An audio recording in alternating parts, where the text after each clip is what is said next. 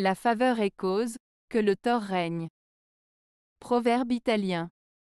Ce proverbe italien, la faveur est cause, que le tort règne, signifie que lorsque quelqu'un est favorisé ou bénéficie d'un traitement de faveur, cela peut mener à des injustices ou des abus de pouvoir. En d'autres termes, accorder des faveurs spéciales à certaines personnes peut créer des situations où l'injustice prévaut.